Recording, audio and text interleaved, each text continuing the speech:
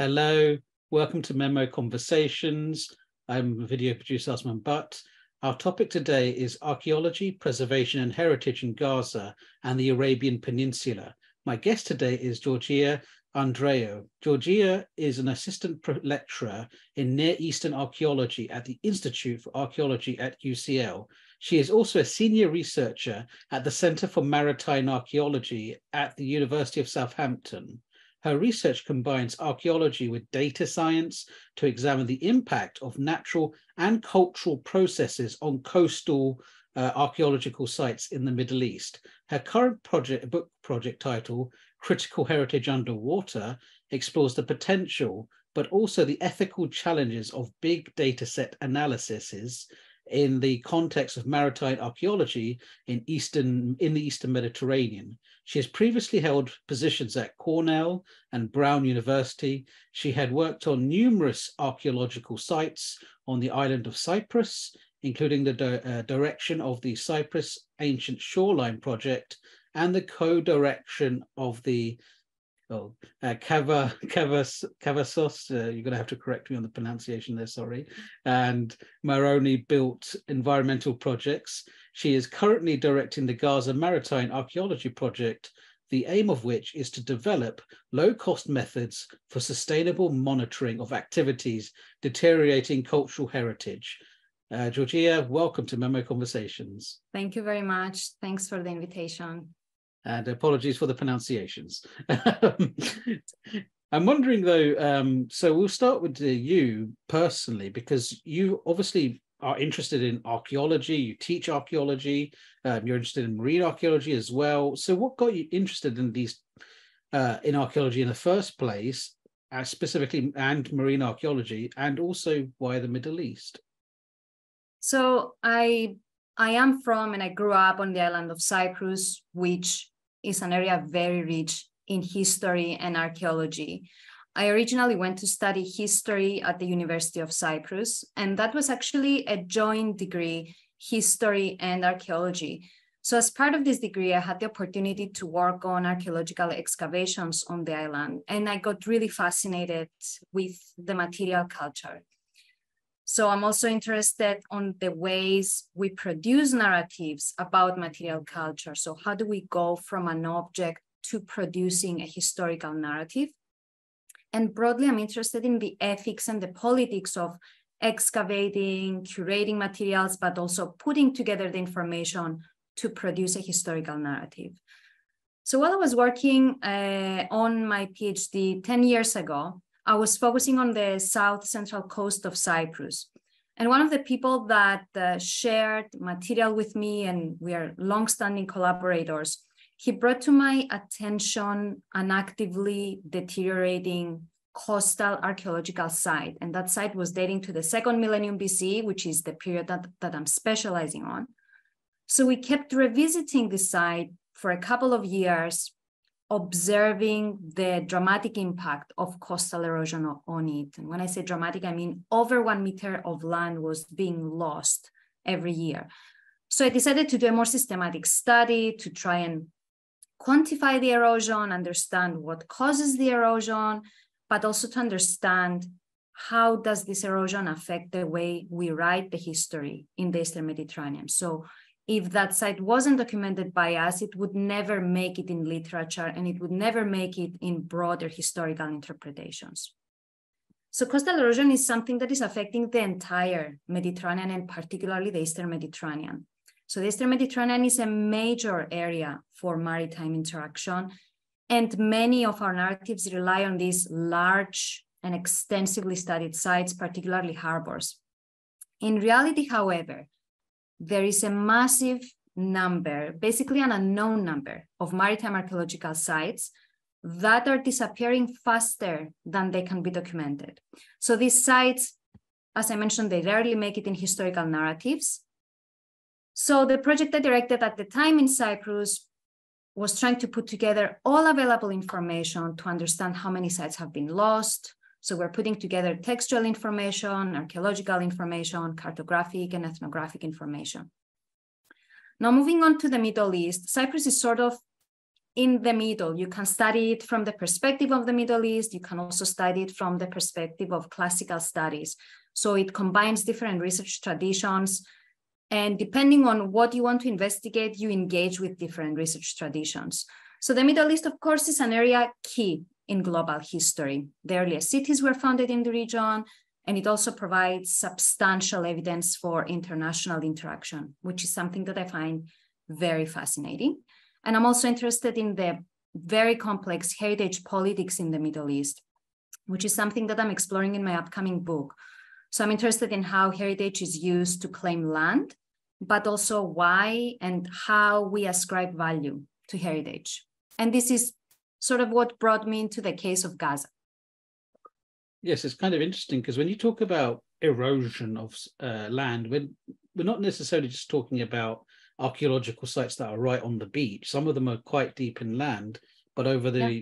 many centuries, as the coast draws nearer and nearer, they start to disappear. What is the sort of, you know, some of the big factors as to why this is happening? So in the Eastern Mediterranean, certainly damming rivers. So rivers are bringing sediment down to the coast, which is protecting them from erosion. But when you cut off the sediment, the erosion is accelerating. And when we are losing over a half meter of land every year, is described as accelerated and it's just generally ascribed to non-natural factors, so to humans. Also, the construction of breakwaters to protect a specific area, whether it's you know private property or a hotel or an industrial center, is essentially redirecting the waves toward another area that potentially has an archaeological site. But when these breakwaters are developed, there hasn't always been a, you know an archaeological assessment or an environmental assessment. It takes time to assess their impact. So you realize their impact after they have been constructed essentially. So these are the two main drivers. Okay so what i'm getting here is that because i sort of wondered to myself you know to what extent is it um, just a natural process that happens that you lose land to the sea every year? Let's say there was no humans in that area would we see land being lost? But from what I'm picking up from this, it seems that humans are critical to the degradation of the um, coastline. Um, and it's maybe, is there any also evidence that it may have sped up with re- like developments over the ages? Yes, and actually, um, since the 50s, we believe that it has accelerated. So it's extremely unlikely that since antiquity, we've been losing one meter of land every year. Uh, we are able to observe this acceleration when we are comparing satellite imagery, which has been available primarily from the 80s onwards. And we also have some aerial images from the 60s. So we can see, we can compare the images and see how the shoreline has changed. And that brings us very nicely to the project you're working on on Gaza. Um, and Gaza is a very, I think, possibly interesting example of this because, of course, as we know, it's a country that it's a sorry a place which is currently obviously under siege from Israel, which it's been for the last you know what year are we going on now? 15 16 years now. Um, and there's about what 2 million people thereabouts living in the strip. And in terms of a lot of archaeological sites i know from my own sort of research that a lot of people are building on top of archaeological sites in gaza like homes there are people living there there is all sorts of things happening and a lot of this is not because there's a disregard for the past per se, it's because they have nowhere else to go. So could you perhaps tell us more about the work you're doing in Gaza? So yeah, as you mentioned, uh, it's among the most densely populated areas on the planet, and there's very limited space to live. And some of the archaeological sites present in Gaza are actually large. So perhaps one of the sites that is uh, more widely known, Tel Sakan, is estimated to be between five and eight hectares of land. So this land is extremely valuable. So in conditions of economic, environmental, and humanitarian crisis, it's not surprising that heritage is deprioritized. So what we are doing uh, with the project, we're involved in Gaza. The project is called Gaza Maritime Archaeology Project, and we use the acronym GazaMap. And it's a project that I'm directing with Yasmin El Khoudary, who is based at the Council of British Research in the Levant. So the aim of our project is to develop a collaborative network of specialists that have complementary skills that have been that can be used for the documentation and monitoring of maritime heritage. So we're developing time and cost-effective methods to document maritime heritage. So maritime heritage is not necessarily found under the water. It's any type of heritage that provides information on how people engage with the sea.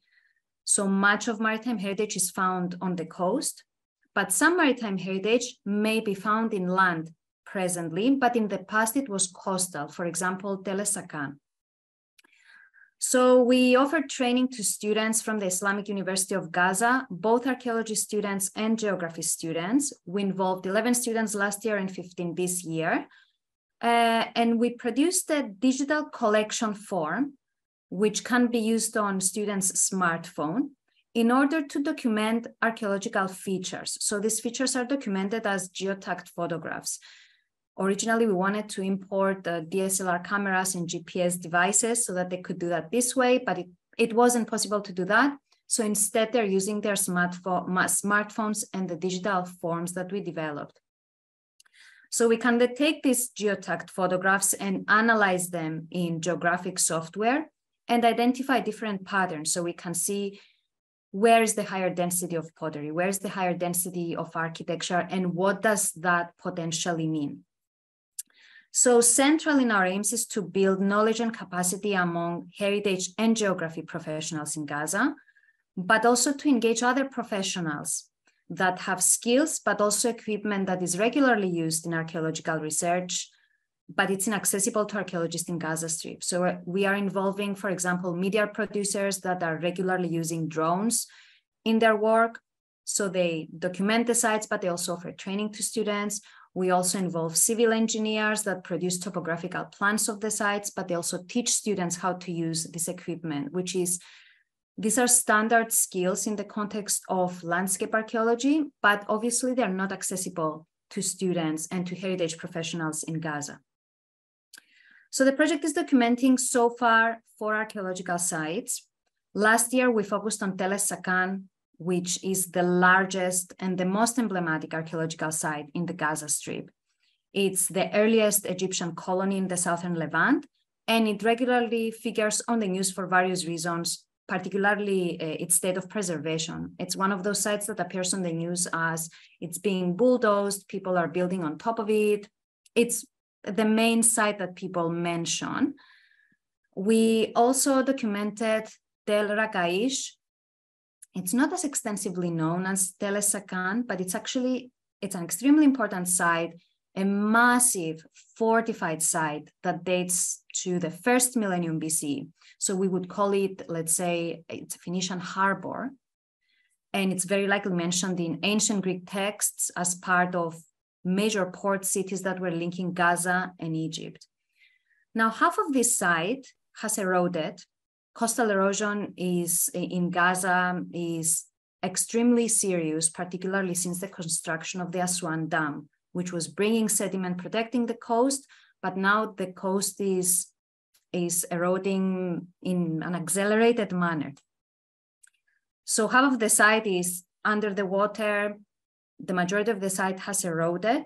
So there isn't actually too much to document under the water, but there is enough so that we are able to reconstruct the economy of the site. Um, part of the site is protected by the ministry. We don't actually know the extent of the site. Uh, so about 200 by 200 meters are protected, but this year we're exploring the actual extent of the site. Students are walking in the general area and they're documenting surface remains. And we believe that potentially it is up to four kilometers long, the actual seafront that was used during the first millennium BC.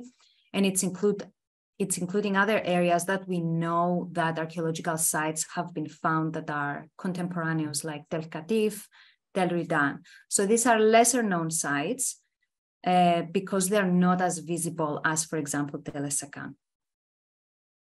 So that the project is actually ongoing at the moment. Students took a break because of the heat wave.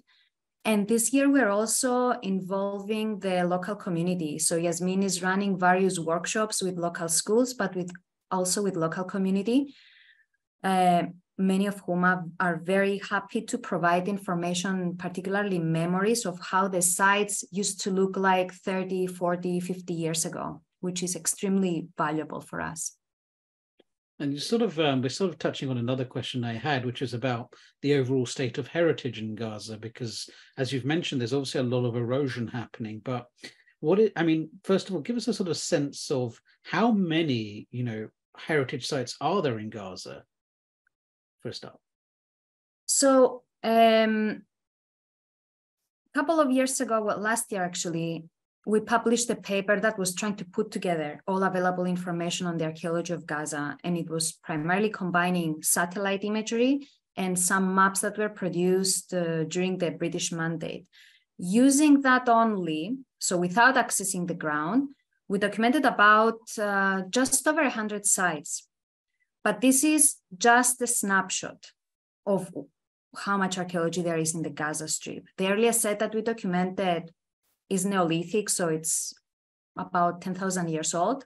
But we know based on the archaeology in the broader region that humans were present in the general area for hundreds of thousands of years before that.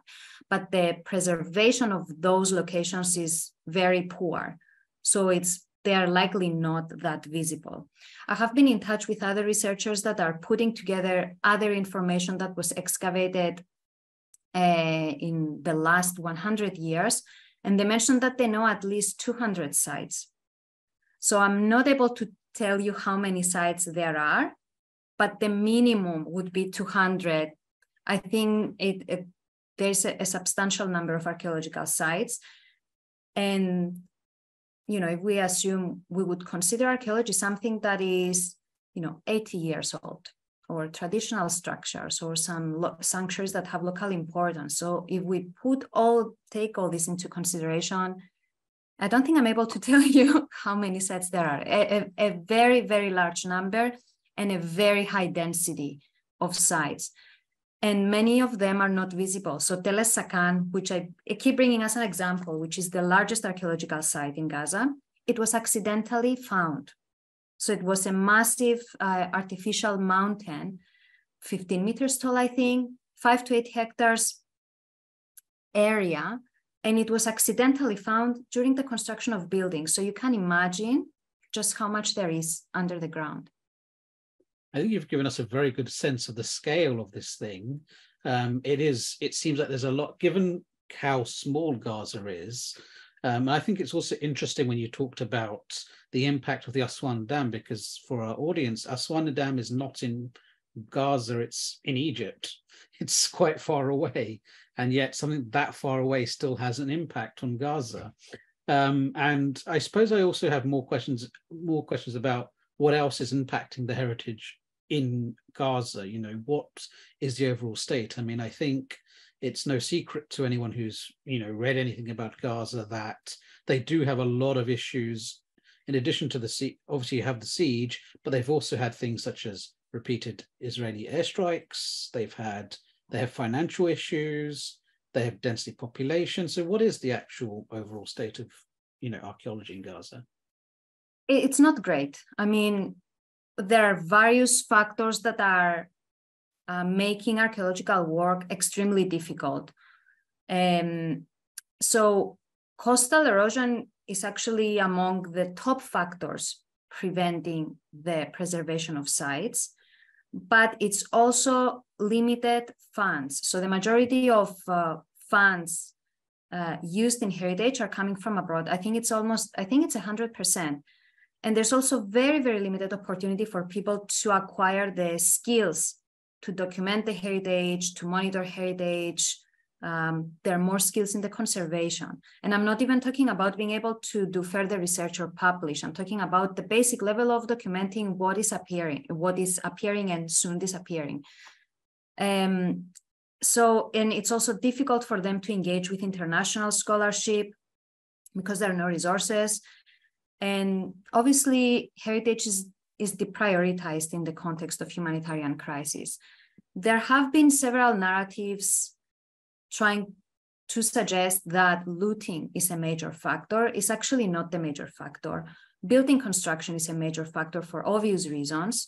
Airstrikes have affected the, the condition of the sites, and actually, forensic architecture did a documentary, um, a short documentary about the Anthedon Harbor, where they showed specifically areas that have been affected by the airstrikes. Um, but the main factor is um, the the continuous use of land because people live there and they have nowhere else to live. You've also, I mean, I suppose the next question is um, related to, you know, more about, you know, Gaza's past. I mean, a lot of people, when, for example, you mention that there is archaeology in Gaza, are surprised Gaza has any heritage. I've encountered that more than once to be able to say this. Um, and I just, I think partly, you know, when people think about the region and they think about its heritage, they tend to think of Jerusalem for obvious reasons, West Bank, which features of much, much more. But for some reason, Gaza doesn't get thought about. So, what is it about, you know, Gaza that makes it interesting for people interested in archaeology or heritage to study? I mean, in general, as you mentioned, the southern Levant has attracted a lot of attention for the past couple of centuries for religious and for political purposes. So, before archaeology was a profession or even a discipline, various explorers or visitors they were coming into this area to find cities mentioned in the Bible and sort of try and verify the contents of the Bible. And this actually continues nowadays and it's attracting substantial funds. And we also have the political reasons as part of the colonial project uh, that produced maps of the general area. So among the resources mapped, cultural resources were mapped, which provided information about the local population. And we know that heritage plays a crucial role in politics nowadays, particularly when there's a strong interest in the historic right of people to live in a specific land. Gaza is central in such conversations. Cyprus used to be central in such conversations. Now, Gaza specifically has a very long-standing history and archaeology. It's known since antiquity as the boundary between Egypt and the different empires of the Middle East. So the Wadi Gaza has been considered the natural boundary between Egypt and the rest of the Near East. And we have a large number of sites along the Wadi Gaza. So it occupies a very strategic location in terms of economy, and in terms of politics from antiquities to nowadays. So it has central role in the Eastern Mediterranean trade, and it was connecting the markets of the Middle East with the Mediterranean, similar to other major cities that are found along the Levantine coast. Yes, it's. So they, uh, it, oh. Sorry, they shouldn't be surprised that there is such a large number of sites in the Gaza Strip.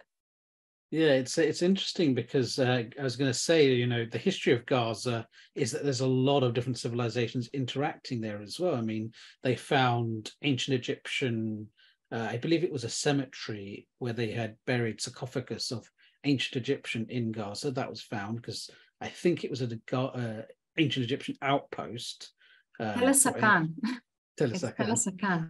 Yes, yes. Uh, but also you've had others there. You've had Hellenic civilizations settling there. You've had Alexander the Great laid siege to Gaza at one point.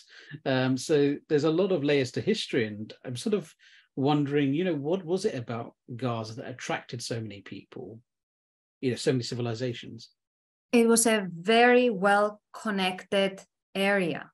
So it was close enough to Egypt, it was close enough to the different empires of the Near East, but oftentimes it was also enjoying a more independent status.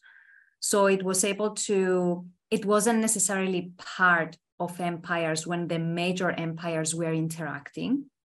So it was able to sort of provide services and engage in trade with different, um, it was part of different economic networks, essentially. So it, in terms of location, it's considered strategic the broader Eastern Mediterranean, of course. So it has access to the sea, but it also has access to, to the mainland of, of the Middle East. Yeah, and it's uh, and it's not just an ancient thing; it's something that continues right up until the modern period. I mean, you had I think Napoleon passed through Gaza as well. There's a famous house he slept in, which I think is now a museum, um, has all things that Napoleon seemed to turn into. Um, so yeah, it's a very, you know, very interesting area with, you know, a long history to it. And it's, in a way, it's kind of, you know, melancholic when you think about what Gaza has happened to Gaza today, because effectively the story today is a Gaza that is cut off from the rest of the world. Um, it's certainly not as connected as it was in antiquity. So yeah, yeah, yeah. Um, but you've also done, you know, other work as well. I mean, you've done because Gaza obviously I don't think was your first, you know, place you did. I mean, obviously you mentioned Cyprus, but you've been doing a lot of work in the Arabian Peninsula as well. Um, and you've done research on relate things related to the cyclones which hit, hits uh, Oman, climate change. So, what did all this research in the Arabian Peninsula? First of all, why were you interested in the Arabian Peninsula, and what did your sort of research uncover there? So, this research is part of um, of my job at the University of Southampton. I'm a researcher at the Maritime Endangered Archaeology Project, which aims to rapidly document and assess endangered maritime archaeology in the Middle East and North Africa. So each researcher is assigned a region to focus on, and I just happen to be assigned uh, Oman. Now, Oman, of course, is a region that has long-standing maritime history, and it has a substantial number of Islamic cities that were central in international trade, particularly as part of the maritime Silk Roads. So alongside the creation of an inventory of sites, which is part of this project, we're also focusing on trying to understand, to identify, but also quantify different threats to heritage, whether these are natural or anthropogenic. So natural as in flooding or erosion, anthropogenic as in building construction, tourist development, and so on. So while I was working uh, in the documentation of sites, I came across videos of the um, cyclone Shaheen, was in 2021, I think, which impacted Oman, Iran, the UAE. So I then realized that cyclones are actually a frequent phenomenon in the Arabian Peninsula. So they seem to be documented at least uh, once a year. And then I realized that it has even been argued that the frequency of the cyclones and the intensity of the cyclones increased due to climate change. Uh, so we actually don't know how frequent they were in antiquity because they weren't documented in the way that they're documented nowadays. In any case, I used the computer software to put together information on the location and the intensity of different cyclones because this information is freely available, which offers substantial opportunity to archaeologists to conduct research. And I combined that with heritage big data, so large databases with the location of sites, just to identify which sites are the most vulnerable. So the Dhofar governorate in Oman, which is the one uh, at the border with Yemen, appears to be the most vulnerable to cyclones. And then I focus specifically on one archaeological site, Al Balid, which is a medieval harbor city. And I was able to find imagery before and after Shaheen. So this imagery is freely available. You can check it on Google Earth and you can see image one day before the cyclone and then two days after the cyclone, just to see how it impacted the site. So through this comparison, my colleagues and I were able to find areas, identified specific parts of the site that were affected by flooding and erosion. So in this respect, we developed a system through which this information can be analyzed and can help us prioritize sites according to their vulnerability. So in the case of future cyclones, heritage professionals on the ground and policymakers know which site to examine first and assess its condition, but they also know how to apply different um, computational analysis in order to remotely assess the condition of the site, especially if it's inaccessible. So producing this heritage big data as part of the project in Southampton and combining them with open access data that pertain to, they're called global observation data, it allows us to make data informed decisions for the protection and monitoring of heritage, which is more sustainable it's low cost and it can also be remote. I think while I praise this uh, available data, I think it's important to stress that we should also be reflecting on the quality of such global observation data. Many of them that have been used to produce models that say this is how the coastline will look in 100 years, or this is how sea level will be in 100 years. Many of them rely on satellite imagery, the, the resolution of which is low and doesn't always take into consideration the impact of people, which is substantial. So actually, in a couple of weeks, we are publishing a paper in Near Eastern archaeology, and we are talking about the different biases that are affecting the way we assume that the landscape will look like in 100 years. And of course, Gaza is our case study because there is substantial impact of people on the coastline. Hmm, yes, it's uh, so when you talk about ancient cyclones, I'm wondering though, I mean, obviously we know when a cyclone hits today because we got news reports, people document on the ground, but I'm wondering, does a cyclone leave any like telltale signs behind, you know, you know, physically, you know, for example, you know, you can sort of tell when an earthquake has happened even 100 years after just based on the way the, you know, ground is formed and that kind of thing, things with the rock. Does a cyclone leave any kind of telltale sign like that? So, I mean, it's uh, nowadays we have ways to classify wind. So, if it's not a cyclone, it's a very strong wind or like a hurricane that cannot be described as cyclone. This is not exactly something that we can measure for the past, but we can certainly see the impact. Uh, we can see through geoarchaeology whether there was a sudden flooding or sudden erosion or, or, or if there was a layer of um, of um, extensive rain. So it can be, and it has been identified. So people can see whether and when what is overflooded and how much they overflooded and if they potentially affected sites. So in the case of Oman, there's also a medieval site, Kalhat, which is a UNESCO site. And on that, archaeologists were able to identify evidence of a past. If it wasn't a cyclone, it was a an event or like a hurricane that caused flooding and erosion that severely affected the site. So actually, in this respect, archaeology is extremely important because it provides historical information on, on the climate, which can inform future projections. So this is something that is presently lacking and it's slowly building up. We can also identify high precipitations through uh, tree rings. So there is substantial research being done in the Eastern Mediterranean on that. If you have pieces of wood preserved or charcoal, researchers are able to identify how much, whether there was drought or whether there was very high precipitation that is related to a very drastic, to something drastic. What is it about tree rings? Every time you know there's something that happened a long time ago, I, oh yes, it's in the tree rings. What's it about trees that contains all this information? So uh, the trees are growing. Each ring is one ring is produced every year. So the thickness of the ring uh, is sort of an indication. It depends on the type of the tree, of course, because you cannot get this information from all the trees. But depending on the thickness of the ring, you're able to determine the precipitation.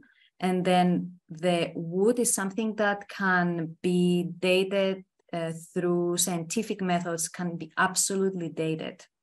So you have a very narrow window of chronologies comparing to, for example, pottery or any other type of material culture. Mm. And when you talk about damage done to Omani sites, give us a sense of what kind of damage you've uncovered. I mean, first of all, you know, you're talking about these sort of sites, you know, Al Dhafar near yeah, the Yemeni border. You know, how big are these sites, and you know, what kind of damage are we looking at? So in the case of Al Balid, for example, uh, we know that um, it wasn't even a cyclone. I think it was a hurricane in 2013 exposed a 15th century shipwreck on the beach. So that shipwreck was documented because someone happened to notice it. If no one noticed it, it would just disappear and would never be documented. So like that there is unknown but large numbers of buried um, objects that as soon as they're exposed, they, they will never be preserved. There was, uh, I think at Al Balid, there's also a cemetery that was excavated under where the sand is. So if that cemetery was unknown to archaeologists, it could have easily been exposed and then disappear within a matter of a few weeks and no one would know about it. Uh, flooding is affecting the state of preservation of the site and the erosion of the, of the coastal scarp. It's kind of eating through the site essentially. So you're losing information. And even though, you know, cyclone is not something that we can prevent, uh, but at least if we know that certain sites are very vulnerable, we can at least document, visit them after such event so that we document whatever is exposed and we have this information before it disappears. So this information can actually be used later when we produce the history of the site. So looking beyond, you know, cyclones, because I think one of the issues, because you also touched on climate change as well, and one of the issues with the Middle East is that it's one of the fastest heating regions in the world. You know, it's going a bit faster than the global average. I think it's by a degree, um, according to different measurements. And so I'm wondering, you know, what are the other sort of impacts climate change is having on these sites, you know, across the region? Sea level change. So there some areas would be under the water within the next 50 to 100 years. Then it has been argued that certain phenomena are more intensive, like cyclones or different types of storms or unpredictable precipitation. So these are affecting. There has been some research conducted on how the temperature of the sea is affecting the preservation of underwater remains. Uh, but I think we should keep in mind that the impact of people on the ground is also substantial in the preservation of sites. So it's not, we shouldn't blame everything on climate change. Okay, and uh, thinking about uh, the future of archaeology in the Middle East, what do you think? What do you you know see as being the thing that a new generation of archaeologists need to consider when they pursue their work in this area? So I'm assuming you're referring to future archaeologists that are from the Middle East. I'm assuming, uh, or broad. We could both. We can do. We'll do both. We have time. I mean, archaeological work in the Middle East has been interdisciplinary, and it will continue to be. So projects employ a wide array of specialists, soil specialists, tree ring specialists, uh, so it's important for archaeology students, particularly from the region, to invest in different skills. And in the recent years, there has been an abundance of open access data sets that are relevant to environment and climate. So in my view, the future of archaeological work is to be able to leverage this data, combine them with archaeological data, and explore the history of the region through different resolutions and through different angles uh, it's important also to note that the future is increasingly decolonized. So the future of archaeology in the region will hopefully be written by local voices or in actively incorporating local voices. And we will continue to reflect on the narratives that were produced as part of the colonial project. So now more than ever, there is space for archaeologists from the Middle East to take lead in projects, to produce historical narratives, which is something that is unprecedented. And it's, it's very important to provide opportunities for these students at the moment. So, of course, this is one of the goals that we have in the Gaza Maritime Archaeology Project. So, beyond providing those skills to students, we also want to create opportunities for them to pursue further studies outside of Palestine so that they engage with the broader international community and they bring their own perspectives as people engaging with their heritage on a daily basis. Hmm. And uh, just about your future work, I mean, you've mentioned you've got a book coming out. Um, maybe you can tell us a bit about that, but also what is it you're going to pursue in the future? What is your what are you, what are you eyeing up? My current focus is the project in the Gaza Strip, and I want to invest more in, on community engagement in the area. And at the same time, I want to reflect on the ethical and the political dimensions of this type of work. I mentioned earlier, this is one of the aims of my book, which is looking specifically on how we study underwater heritage in the Eastern Mediterranean. There are certain areas that, um, particularly international waters or contested waters, that archaeology has been documented in ways that would not necessarily be acceptable if that archaeology was on the ground. Uh, a recent example has been the, the identification of uh, 12 shipwrecks between Cyprus and Lebanon.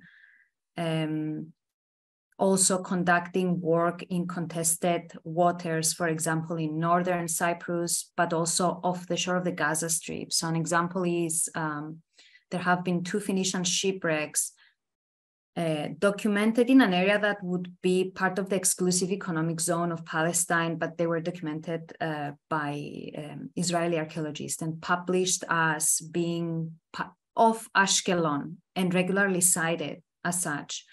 Uh, but there isn't there aren't enough conversations on the ethics and politics of conducting such type of work. So on the one hand, we want to document and protect heritage, and it's often the priority.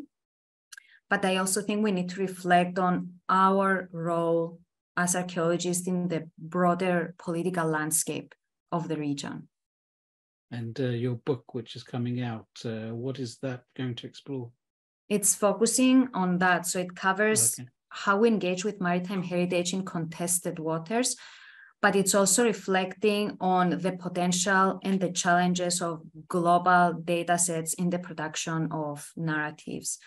So I mentioned earlier that there is a number of projects that are collecting a lot of uh, archaeological information. They're producing large data sets on the Middle East, but they're based outside of the Middle East. They're run by specialists that are not necessarily from there this information is not always accessible to archaeologists from the region. So there is a level of inequality here that we need to reflect on and the way specialists engage with uh, local communities. And I think this will be exacerbated now that increasingly more information is made available, which is described as freely available, but actually not everyone has the infrastructure to access it, not everyone has the infrastructure to analyze it. So these are also aspects that I'm discussing in the book. Georgia Andreou, thank you for talking to us at Memo Conversations. Pleasure. And to our audience, thank you for tuning in. If you've missed any previous uh, episodes of Memo Conversations, you can find that on our website. But I'd also like to thank you for tuning in. Please do tune in next time for more Memo Conversations.